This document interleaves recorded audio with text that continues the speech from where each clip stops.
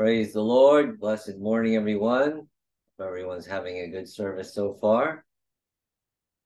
It's time for our spiritual meal. And so we want to make sure that it's God who's going to speak to us today. So I want to surrender it all to Him. Heavenly Father, in the name of your glorious Son, Jesus Christ, I thank you for this amazing privilege of delivering your word to your flock. I ask you, Lord, to be the one to speak through me and speak into every heart and mind, including my own, and give us special revelation today of what it, what it is you're sharing with us. Thank you for already giving me revelation on a whole nother subject today. But help help me focus on just delivering your word and help us all be ready, be prepared to absorb it in the name of Jesus Christ. Amen. Mm. All right. Excuse me. Let's go with our opening verse. Uh, well, so I think it was Tuesday morning. Pastor Tyrone was giving the word of the day, and a few things started standing out. And it was the, the subject was in the latter rain, I believe it was, and and, and um, you know the when we are first born again, we have this amazing blessing when we're in God's presence and that is that early rain experience that we as born again Christians experience. You know God is real and you have no issues, no concerns. You have you're just in paradise and you feel like you're being carried like a little child. But then all of a sudden that starts to change and we start wondering what's going on and we start facing trials and tribulations and we don't understand and so the early rain, when it comes to uh, being in in the way of cultivating things, the early rain softens up that soil that it can be plowed and seeded and worked. And so God gave us that early rain in our hearts to get us ready for all the work that He's going to do inside of us. He's going to plow, He's going to dig, He's going to put seeds in, He's going to let things grow, He's going to prune. Oh, ouch. Ooh and he's going to let these things happen. But ultimately, the next season comes, and that's the latter rain, and that rain really produces the real fruit the flowers and the fruit and the vegetables and everything else once everything has been prepared and so that was I, when i heard latter rain or i was already getting excited because i know that's what god's plan is for us in the very near future but some of the supporting scripture that he had even got me more of my attention. And one of those is right here, our opening scripture today. Second Thessalonians chapter 1, verses 11 and 12. Therefore, we also pray always for you that our God would count you, all of you, worthy of this calling and fulfill all the good blood pleasure of his goodness and the work of faith with power that the name of our Lord Jesus Christ may be glorified in you and you in him according to the grace of our God and the Lord Jesus Christ. Amen. Amen. The lot said there, but what we're going to focus on is this last verse right here. That the name of our Lord Jesus Christ may be glorified in each and every one of us. Amen. That's our topic today. Christ glorified in his saints. Praise the Lord. We are chosen to bring him glory and not ourselves. Amen? Amen. Amen. And so, how does that work? How does that look? Let's see if we can see God's ways and how he will glorify himself in his saints. Ready? Amen. All right. Well, first, we want to know that well, Jesus came first and he set the path, the example, and said, Follow me, right? So we look at Jesus and we know that Jesus didn't come here for any other reason but that God, his Father, would be glorified. Amen? That's what he wanted to do. In John chapter 12, verses 27 through 30, Jesus says, Now my soul is troubled, and what shall I say? Father, save me from this hour. But for this purpose I came to this hour. Father, glorify your name. This is exactly what Jesus was here to do glorify his father's name, Amen. right? He didn't even come to glorify himself, yet he was glorified. Notice in our opening verse that Christ may be glorified us in us, and also that we would be glorified in him. But that's not our focus. Our focus, just like Jesus, is to glorify Jesus for in our case, and he was to glorify the Father. Amen. Amen. All right, so the, then a voice came from heaven saying, I have both glorified it and will glorify it again. Praise the Lord.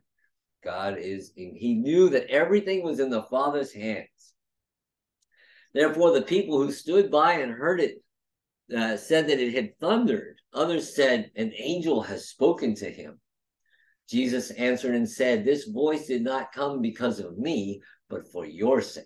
Amen Amen. because they have a relationship already. But he says these things so they can hear it and understand why, so we can follow him. Amen. And mm-hmm. understand what's happening and what we are called to do as well.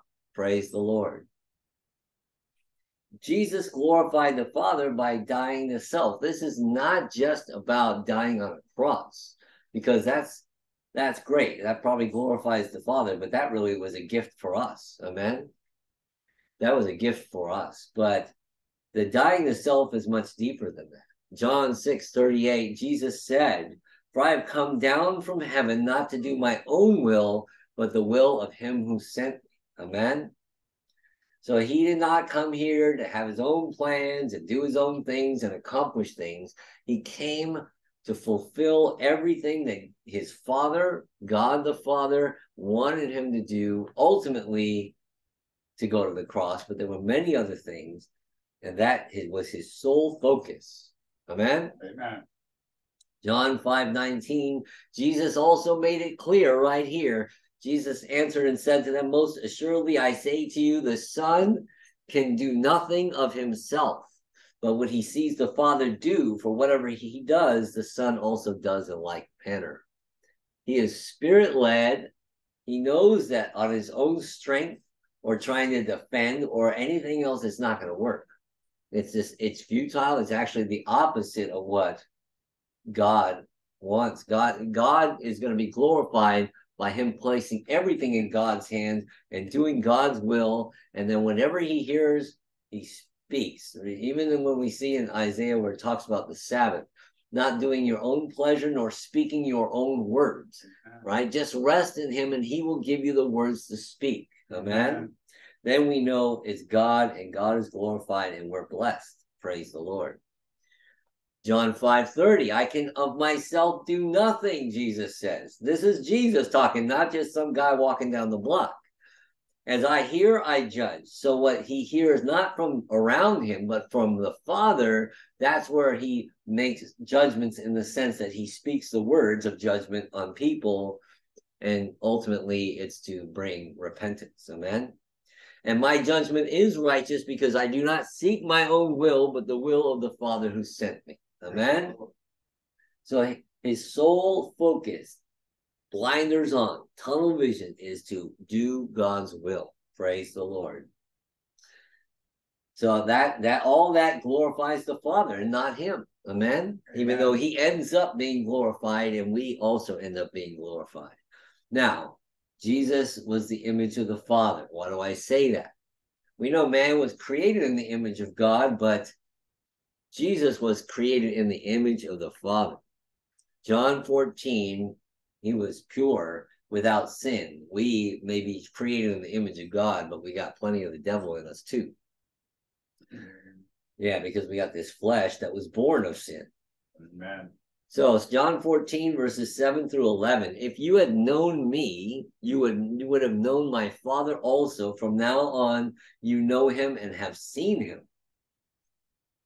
Philip said to him, Lord, show us the Father, and it is sufficient for us. So he's saying, Come on, show us the Father. Let, let's see him. Jesus said to him, Have I been with you so long, and yet you have not known me, Philip? That's the Father speaking through him, right?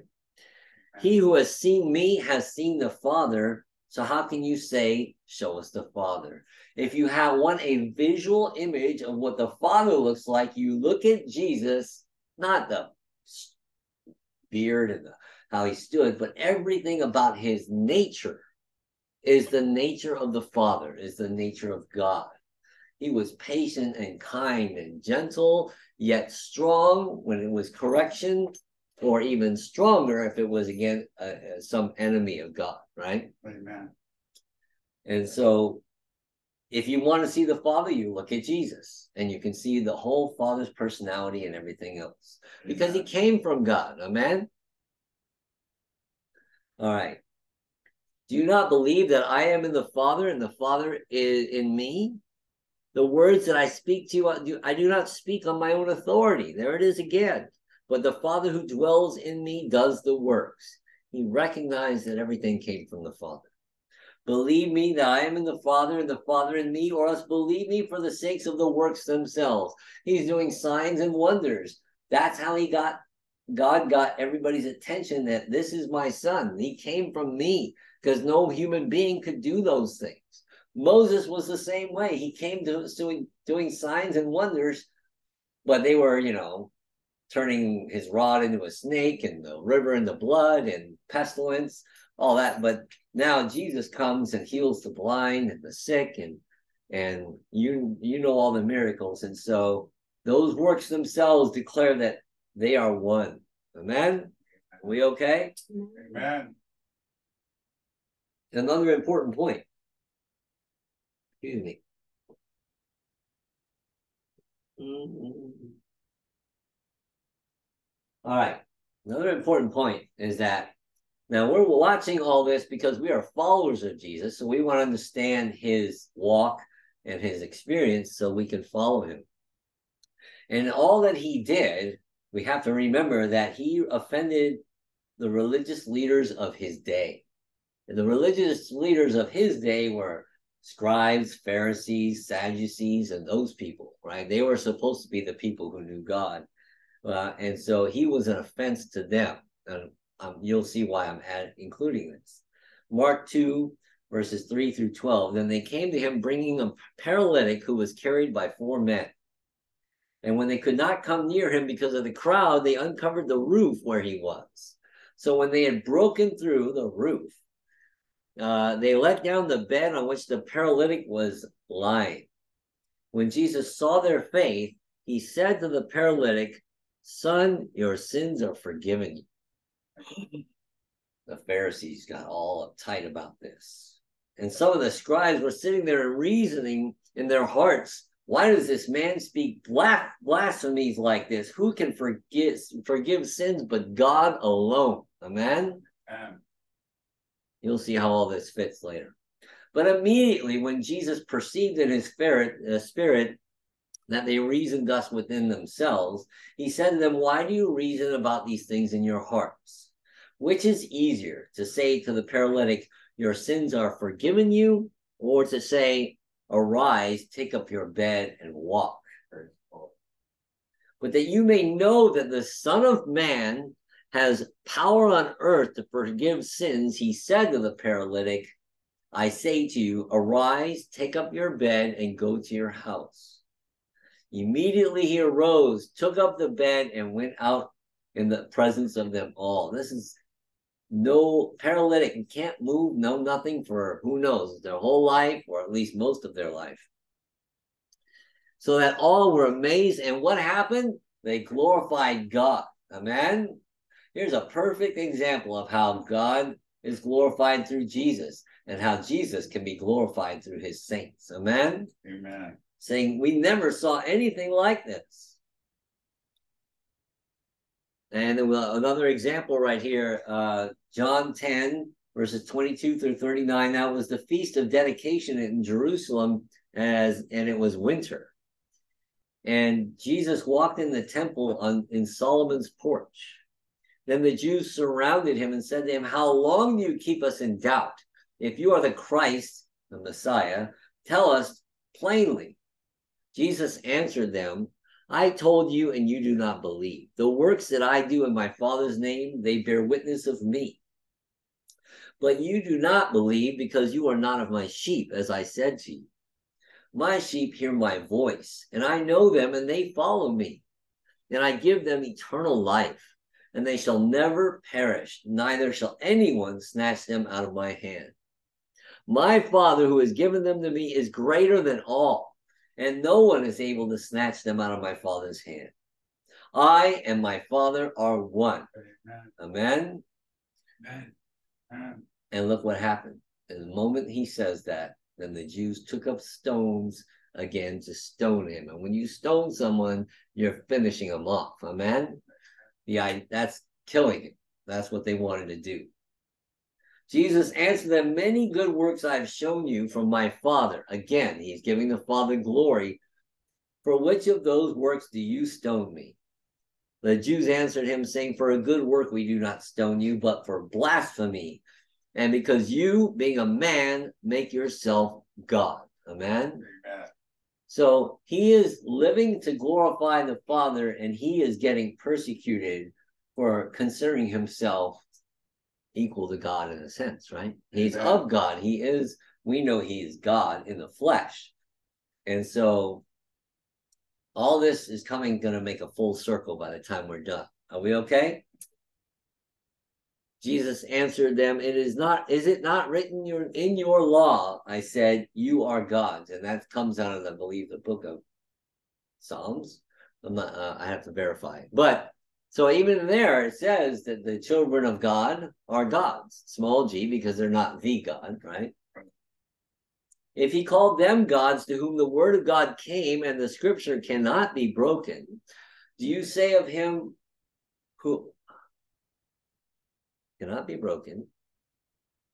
Do you say of him whom the Father sanctified and sent into the world, you are blaspheming because I because I said I am the Son of God. This is interesting because I've never really noticed this before. When he says the Father sanctified, you say of him whom the Father sanctified and sent into the world. It's like God prepared him and made him pure and sinless, right? Even though he wasn't sinful before, but that even Jesus calls himself sanctified and then brought into the world. This is going to become interesting as we keep going. All right. Amen. Praise the Lord. If I do not do the works of my Father, do not believe me. Again, he keeps pointing to the Father. But if I do, though you do not believe me, believe the works, that you may know and believe that the Father is in me and I in him. Therefore, they sought again to seize him, but he escaped out of their hand. Not because he was physically strong or a fast runner, but because it wasn't his time. Amen? Amen. It's just not going to happen unless God says it's going to happen. That's all you got to know. No one has any power over anyone unless God allows it. Amen? Amen. Amen. A whole army of 200 million can come against him, and if it's not time, it's not going to happen. Praise the Lord. Are you still with me? Amen. So Jesus comes forth and he does all these things, and then he gets nailed to a cross and he dies, goes into a tomb, and is resurrected three days later. And what happens next? He goes and sits at the right hand of the Father, right? Amen. Acts chapter 2, verses 32 through 36. This Jesus God has raised up, of which we are all witnesses. These are the d- disciples, now apostles.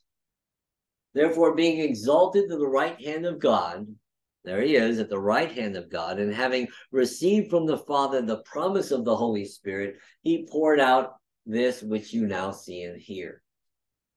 For David did not ascend into the heavens, but he says himself, The Lord said to my Lord, Sit at my right hand. Amen. Till I make your enemies your footstool. Therefore, let all the house of Israel know assuredly that God has made this Jesus, whom you crucified, both Lord and Christ. Amen. Praise the Lord. So, just uh, had some scripture to make sure we all understand. God came. In the beginning was the Word, and the Word was God, and, or was with God, and the Word was God. The Word became flesh and dwelt among us.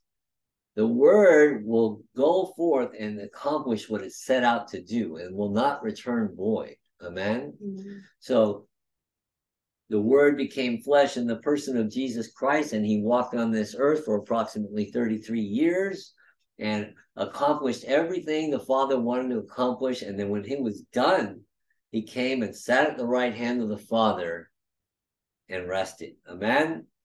Praise the Lord. Who sits or stands at the right hand of the king? That's my question here. We we're not living in the days of kings in every country or whatever, every, every nation, but there's still a few left, I guess. And so let's look at what the Bible says about who has the privilege of being at the right hand of the king. Amen. Psalm 45, verses 6 through 9 says, Your throne, O God, is forever and ever. A scepter of righteousness is the scepter of your kingdom. You love righteousness and hate wickedness. Therefore, God, your God, has anointed you with the oil of gladness more than your compa- companions. All your garments are scented with myrrh and aloes and cassia out of the ivory palaces by which they have made you glad. King's daughters are among your honorable women. At your right hand stands the queen in gold from Ophir. Amen. Amen. Now, I don't have the scripture of the story of Esther, but Esther, uh, in a nutshell, is one of many virgins brought to the king, and each one would go to see the king each day, and the one that pleased him would become the queen. And we see that there was a selected one named Esther, uh, and so she was selected, and the only thing that set her apart from everyone else is the fact that she left the decision making to the one who was leading her instead of her own. She didn't choose anything of her own. That's someone who sold out to the will of God. Amen. And we know Jesus was. So he he is the select one. He and Esther is a type of Jesus that becomes the queen. Now we say, oh wait, hold on a second. Uh, we're calling Jesus a queen. What what kind of is this new day, new age stuff here? No. No, the queen is the bride of the king. And so let's see if God shows us this story. Actually, I know most of you know this, but maybe someone new here or uh, listening to this online now or in the future um, will get some revelation here.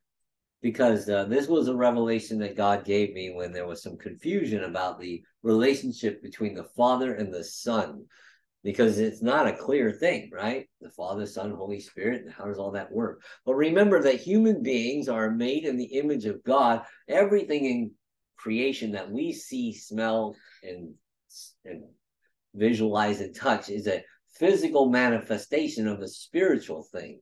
And so God already gave us an example of this relationship. And that is Genesis chapter 2, verses 18 to 24. I'm going to go through it a little quickly because I know that most of this crowd already knows this story, but it's relevant to what we're sharing today. And the Lord God said, It's not good that man should be alone. I will make him a helper comparable him to him. And so if we think of God the Father and he's just there, maybe it's not good for him to be alone. Amen. Amen. Maybe he is a God is love God is all these great things, but how can you love nothing? There's nothing, right? So eh, here he's telling a story with physical person of Adam. He makes him in his own image, but he's by himself. And he got a beautiful garden, but there's no one to share it with. There's no one to to express all that love and mercy and kindness. Amen. So now he's going to make a helper equal to him. Out of the ground, the Lord for, God formed every beast of the field and every bird of the air and brought them to Adam to see what he would call them. And whatever Adam called each living creature, that was its name. So Adam gave names to all cattle, to the birds of the air, and to every beast of the field. But for Adam, there was not found a helper comparable to him. Amen. Amen. So what if? What if God wants to share his wonderful create, you know, everything himself and everything, and but and but he has no one to be with. So maybe he creates uh, angels and cherubim and seraphim and all these other helpers that do work like animals do in the farm. They're they're all there to help him accomplish what he wants to do, but none of them are really equal to God Himself, right? They can't relate. They his ways are so past understanding and so forth. They're not as wise. And so they're they're nice to have, but he still feels alone. Amen. Adam still feels alone. He's got these animals and they're fun, but he has no one to really share it all with. And the Lord God caused a deep sleep to fall on Adam, and he slept. And he took one of his ribs and closed up the flesh in its place. And the rib which the Lord God, now a rib is what they translated to, the word is curved. And we also know that our DNA is curved. And so we don't have to get too stuck on traditional ways. We can see that you can do things with DNA to replicate. And that's how even babies are formed with and all of that, right? It's all the mixing of DNA. Uh, so the rib which the Lord God taken, he made into woman and he brought her to the man. And Adam said, This is now bone of my bones and flesh of my flesh, and she shall be called woman because she was taken out of man. Therefore, a man shall leave his father and mother and be joined to his wife, and they shall become one flesh. Amen. Amen. Praise the Lord. So he was taken out of man. In the beginning was the Word, and the Word was with God, and the Word was God. The Word even tells us in the book of Psalms take out your right hand and make make our enemies go away you know save us your right hand they're always talking about from his own bosom right and so eve came out of adam's bosom well the word came from god's bosom the word spoke and things were created and the word was brought forth and placed into a human being and now that word is its own entity. But after that, he came back to the Father and sat at his right hand, and the two become one. The Lord our God, the Lord is one. That's why they were so upset with Jesus because he said that he was God. But the he gave us an example right here. The Lord is one because they are one as a husband and a wife. Amen. Right? Get it? We got that? Praise the Lord.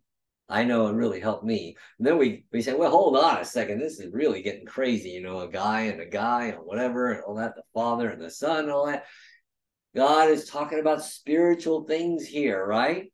Remember in Galatians 3:28, there's neither new, there is neither Jew nor Greek, there is neither slave nor free, there is neither male nor female, for you are all one in Christ Jesus. Amen. Amen. And I'm going to jump ahead. By the way, the church is the bride of Christ. And if you're a guy, deal with it. Amen. It's not about our, our, we to Christ are also in the female sense of this marriage. Amen.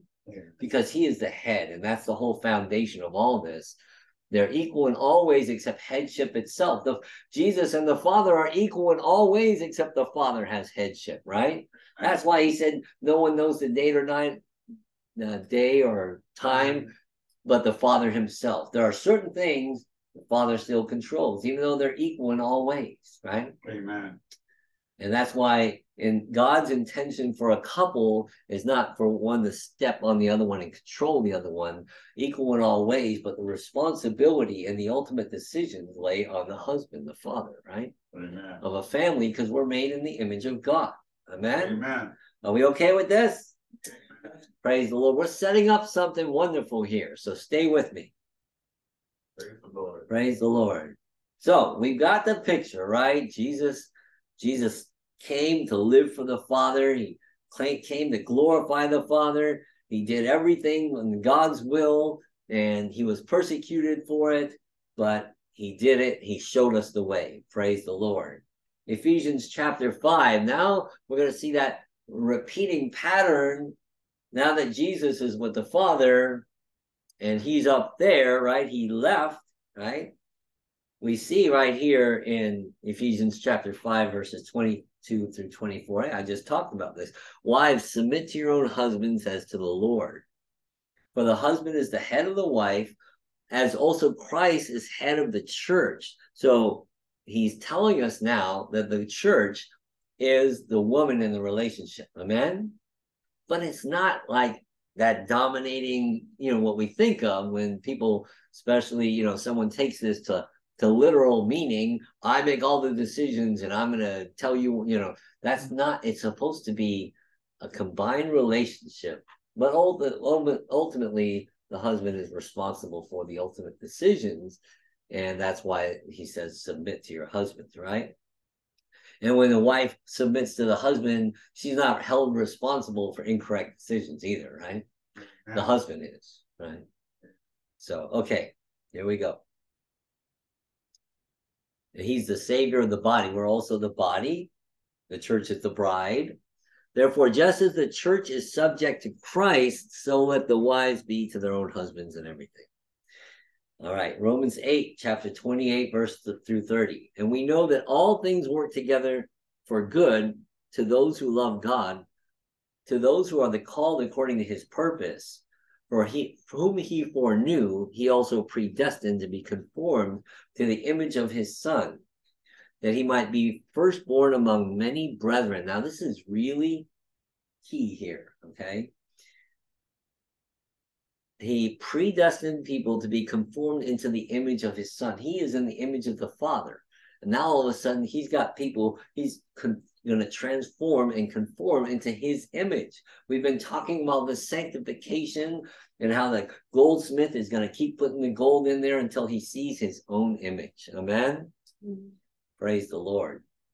And then he was the firstborn among many.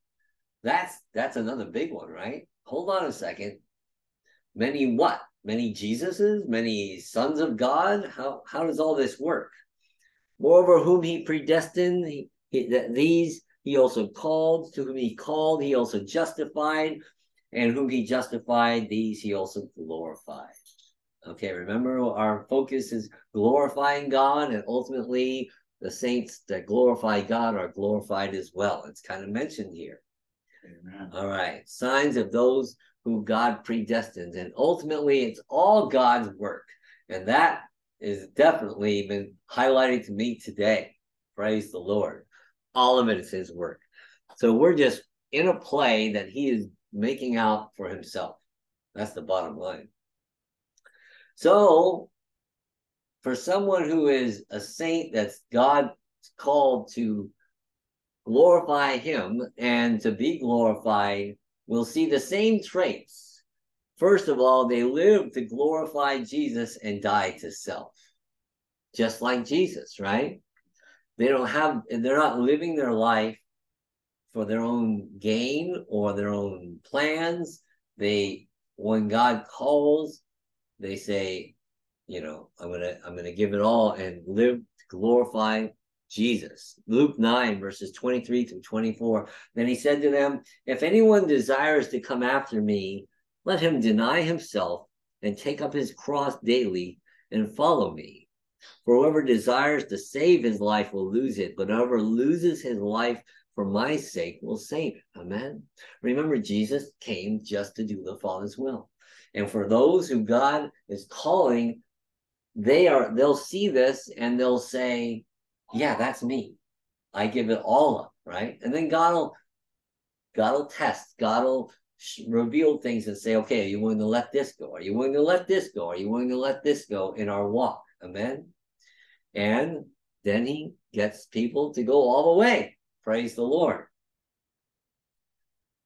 They yield to the work of the Spirit that will transform them into the image of Jesus. Amen. Amen. And so we, I know I've personally seen many people who have come and they've been on fire for God and doing great until God wants them to do something that's uncomfortable or have to give up something that they're not willing to give up. Right. And so then they decide to move or leave or whatever the case, right? So God, that's why God does the sifting and has a remnant and so forth. But again, this is all God's work. It's really remarkable. It's really incredible. Praise the Lord. And I hope we'll see more of this as it goes forward. Second Corinthians 3:18, but we all with unveiled face, beholding as in a mirror the glory of the Lord, are being transformed into the same image from glory to glory glory to glory, just as by the Spirit of the Lord. It's God's work, and for those that He's going to glor that will glorify Him, and that He will glorify are the ones who are yes yielded to whatever it is needs to be surrendered. Amen. Amen. All right. Are we okay? Amen. So, news flash. We see the pattern of Jesus glorifying the Father and how he walked. And now we see that there are those who are willing to just live for God's will and follow Jesus all the way. Well, guess what? They too will offend the religious leaders of the day. Amen? Amen. Praise the Lord. It's just required. It's just the way it's going to be. In Mark 10, verses 29 through 30, Je- Jesus answered and said, Assuredly I say to you, there is no one who has left house or brothers or sisters or father or mother or wife or children or lands for my sake in the Gospels. Again, it doesn't mean we have to physically leave everybody and go out to a monastery or something, unless that's what God tells you to do. But it's a matter of surrendering everything to God and just living for his will. And usually it doesn't mean we have to leave anybody physically or especially family, I should say, right? But whatever, whatever he says, however he wants to drive it, but it's a really a heart surrender, and he knows, amen. Who shall not receive a hundredfold now in this time houses and brothers and sisters and mothers and children and lands with persecutions. This is his promise. And in the age to come, eternal life. Amen. Amen. Praise the Lord. All right. Are we okay? Amen. All right. John 20, verses 19 through 20. Then the same day at evening, being the first day of the week, when the doors were shut, where the disciples were assembled for fear of the Jews, Jesus came and stood in the midst and said to them, Peace be with you. When he had said this, he showed them his hands and his side. And then the disciples were glad when they saw the Lord. So Jesus said to them again, Peace to you, as the Father has sent me, I also send you. We see this pattern already here? So he came to glorify the Father. God had him things to do. Now he goes to the Father, and now we become the ones who are called to live for his will and follow him and do what he's asking us to do. Amen. Amen. Praise the Lord. And when he had said this, he breathed on them and said to them, Receive the Holy Spirit. Guess what? If you forgive the sins of any, and they are they are forgiven them. And if you retain the sins of any, they are retained. Amen. Why Amen. did I include, include this here? What was Jesus persecuted for in our example? For saying he forgave the sins of the, the paralytic, right? Amen. And they got all upset. How can you forgive sins? Only God can do that. Jesus says, now it's your turn. And if you forgive the sins of any, they're forgiven. So those who follow him and are totally surrendered to him to glorify him have the power to forgive sins for a person. And yet, if that they do that, they're going to receive persecution because you're acting as if you're God or you're a you're you Jesus or whatever. They're going to say all these things, um, just like they did to Jesus. Amen. That's part of the persecution because once once the saints truly understand what's been given to them, and they, well, the more is going to be said here about that as we go forward. Now he was born sinless; his saints were not. Amen. Because if he had to just God just had to work with the human beings already on this earth, he couldn't find a sinless person, right? Because we're all sinful. We all have sin. That's why Jesus had to be born specially like that, without sin. The rest of us are born in sin. So instead of being born sinless, we are made sinless. First, uh, second, uh, First Thessalonians chapter five, verses twenty-three to twenty-four. Now may the God of peace Himself sanctify, which is to set you apart, and you're you're, you're walking in the commandments and everything, and sanctify you completely, and may your whole spirit, soul, and body be preserved blameless. You see that at the coming of our Lord Jesus Christ. He who calls you is faithful, who will also do it. Amen. Amen. The Israelites didn't believe that God could get them in the promised land. There were too many giants in there. We may hear this and say, "Oh, that's just not possible. I sin every day. How that's just not possible." But God says He can do it. Amen. Amen. And those who believe made it. Amen. Amen. Those who didn't died in the wilderness. That doesn't mean mm-hmm. someone's not saved. It just means that they didn't weren't given the faith, I guess, to, to believe that God can say do what he says he will. Amen. Right, we okay? Amen.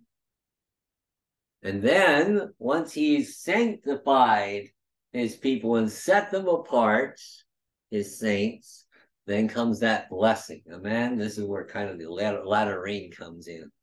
Now we're gonna we've read this many times, but I think this is such an important chapter in the Bible with Jesus talking. And so we're gonna go through it slowly here. Most assuredly, Jesus said, most, most assuredly, I say to you, he who believes in me. This is not, yes, Jesus was real. He's the Son of God. He died for my sins. Thank you.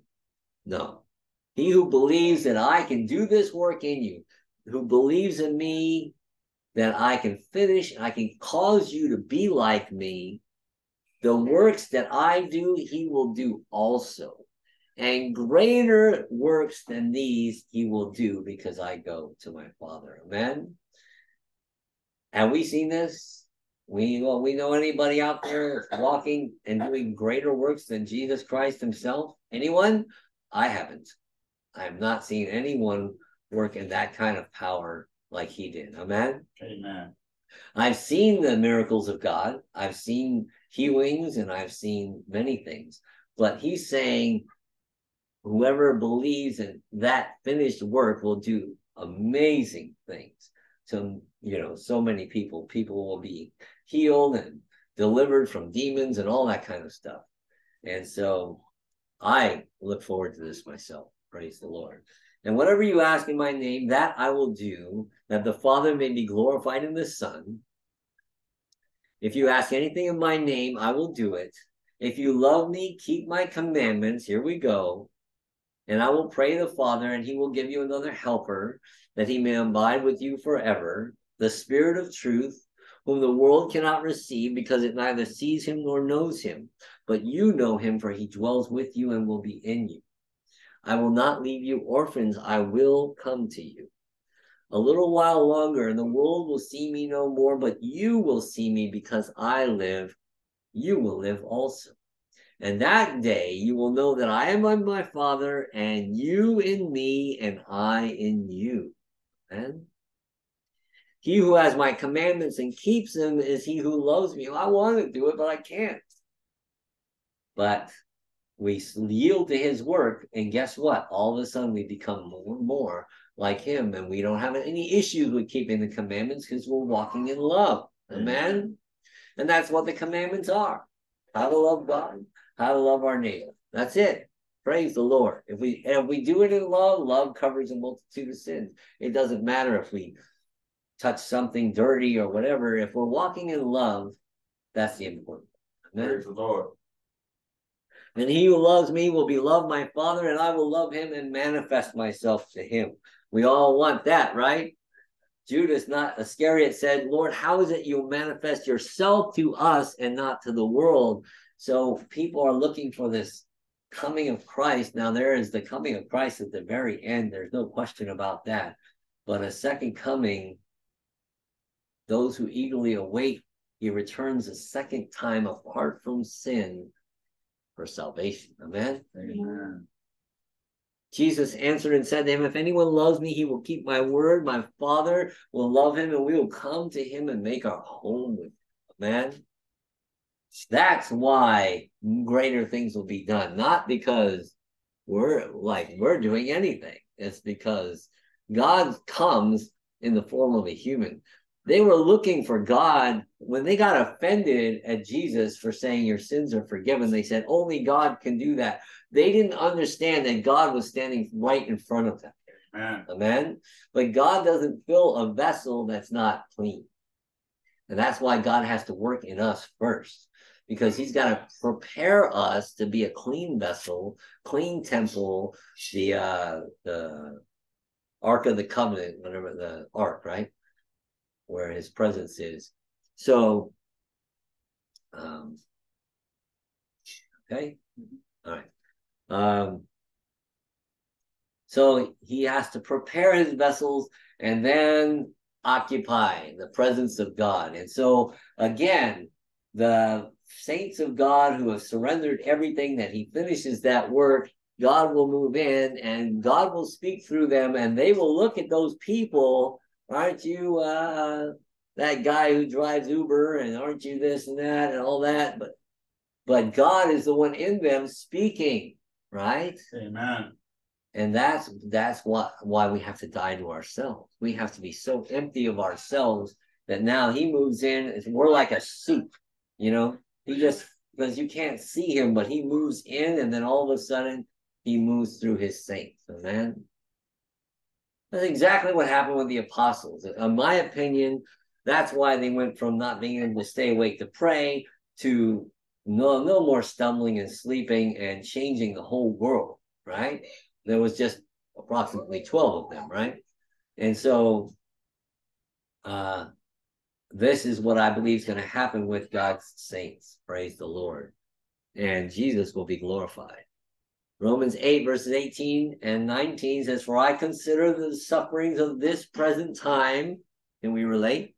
Sufferings of this present time are not worthy to be compared with the glory which shall be revealed in us. Amen. For the earnest expectation of the creation eagerly waits for the revealing of who? The sons of God. Amen. There was the firstborn, there were the apostles of 2,000 years ago. And the Bible tells us in the book of Revelation, there'll be 12 times 12,000 in the uh, last days that God will bring him his true body, his presence, where he will just move through physical bodies that have been sanctified and prepared for him to occupy. Do we see this today? Amen. Amen. No, I mean, do we see it in Revelation? Do we see that this is possible? Yes. Amen. Well, we don't see it out there today, but I believe this is exactly what's going to happen soon. Amen. Amen. Praise the Lord. This will happen in the last days. That's a fact. I believe it. I mean, the word is clear. Revelations chapter 7, verses 1 through 3. After these things, I saw four angels standing at the four corners of the earth, holding the four winds of the earth, that the wind should not blow on the earth, on the sea, or on any tree. This is a spiritual thing. Then I saw another angel ascending from the east, having the seal of the living God. And he cried with a loud voice to the four angels to whom it was granted to harm this, the earth and the sea, saying, Do not harm the earth, the sea, or the trees, till we have sealed the servants of our God on their foreheads. Amen. Letting what tribulation, whatever you want to say, but things are going to get ugly in this world. But he is preparing a group of people that he is going to move in on so that when everything else is happening, Psalm 91, those who abide in the under the wings of the Almighty will only see the reward of the wicked, but it will not come near them. But they will be there as a city on a hill with their arms wide open that cannot be hidden. For all those who will be struggling and suffering out there, they will see God, not people, and not not IT personnel and all that. They're going to see God moving through human bodies and guiding them to Himself. Amen. Praise the Lord. Matthew 16, verses uh, 27 and 28 For the Son of Man will come in the glory of his Father with his angels, and he will reward each according to his works. I say to you that there are some standing here who shall not taste death till they see the Son of Man coming in his kingdom. I believe that we see that manifested in the apostles. He had to leave first, and then 40, 40 days he was with them. And uh, Pentecost came, and that's where we have Acts chapter 2, where you know the spirit of god moved in them and they spoke and they did whatever god wanted them to do they spoke the words that god wanted them to do and changed the world amen and because of their those 12 we have the gospels and many have come to christ over the last 2000 years because of those 12 12 uh, servants of god amen? amen what more will happen in the last days amen, amen. praise the lord all right. Are we uh, seeing this? Are we are we getting getting the revelation? I hope we are. Praise the Lord. Praise the Lord. All right. I guess what I get most out of this is uh, those willing to give everything. God will finish the work. God will use those who are willing to do that very powerfully. Though those will face persecution, but it's not us anymore in the sense of that's why when the uh, apostles and other believers of the early church, when they were thrown into the lion's den and stuff, they were singing praises when they were burned at the stake because they were one already with the with God. They were so connected. They were so at peace. And you listen to any testimony of anybody who's had a flat line and gone to heaven and come back. They don't want to be here. So there's absolutely no fear or anything because God's worked all that out. He's gotten rid of fear and fear of man and fear of anything. And so you just have perfect peace, just like Jesus did. Jesus had, no matter what, he, he was a lamb led to the slaughter. He didn't even say a word other than what he wanted us to hear. Amen. Amen. All right, mm-hmm. Philippians chapter 2, verses 5 through 8. Let this mind be in you, which was also in Christ Jesus. We're repeating the pattern, right? Jesus, we saw how he lived for the Father, did the Father's will, became, sat at the right hand of the Father as kind of a bride and the Son and all that. And now we, the church, this is our mindset, is to have that mindset. Let this mind be in you, which was also in Christ Jesus, who being in the form of God, did not consider it robbery to be equal with God. That's a hard thing to swallow right there, right? I mean, for us. But we are children of God, and He is going to make us like Him. In that sense, we are part of the family, and that's why we can be considered we're, we're the we're children of God. That's why we have authority to cast out demons right now, right? If we claim the authority of Jesus Christ and we're being attacked, attacked spiritually, demons have to obey. Amen. Because we are children of God, which we have that authority. And we use the authority of our head, which is Jesus Christ. But made himself of no reputation. That means ourselves, our minds should be in this making of himself no reputation, taking the form of a bondservant and coming in the likeness of men. And being found in appearance as a man, he humbled himself and became obedient to the point of death, even the death of the cross. For us, it's about obedient to the point of letting every part of ourselves go and he be in total control. Amen. Mm-hmm. And that's a real challenge is to ask God to reveal to us what part of ourselves are we still hanging on to. Amen. First John chapter 2, verse 6. He who says he abides in him ought to himself walk just as he walked. So this is evidence right here. If anyone says, I know Jesus and I'm I'm already sanctified and all that, then you gotta be able to pass this test right here. Are you walking exactly as Jesus did? That's a big, big claim if you if you think you do, right? Uh, who can say that but someone whom God has sanctified? And there's evidence, right? Amen. And I know today God definitely made sure to let me know I'm not there yet. Amen. Praise the Lord. As if I didn't need to know that or didn't already know that. Second Thessalonians. Now we're going to close with our opening verse because now I hope we can see this opening verse in new light. Therefore, we pray always for you that our God would count you worthy of this calling, of everything we talked about today. Amen. Praise Lord. And fulfill all good pleasure of his goodness and the work of faith with power, that the name of our Lord Jesus Christ may be glorified in you. Like the Father was glorified in Jesus, may Jesus be glorified in us, and us in him according to the grace of our God and the Lord Jesus Christ. Amen. Amen. Amen. Praise the Lord. Uh, Heavenly Father, we thank you for uh, for just showing us the cycle, how you work, and your your pattern is consistent in the Bible. In everything you do, it's not something. It, it, it reveals your character and what you do and how you are you you have the Father, and the Father was lonely, and so nothing else was worthy. So from yourself, you brought forth your Son, and now you two have a relationship. But now Jesus, whose heart was the delight of man and gave himself for man, now will also re- receive the same blessing and us through Jesus that we have your spirit and we too will become one. The marriage of the the king and his bride is coming, Lord. And that way we will all be as one and your name will be glorified on earth and in heaven. In the name of Jesus Christ. Amen. Praise the Lord. For everyone here, for everyone online, and those in the future, the Lord bless you and keep you. The Lord make his face shine upon you and be gracious to you. The Lord lift up his countenance upon you and give you peace in the name of Jesus Christ. Amen. God bless you all. Amen.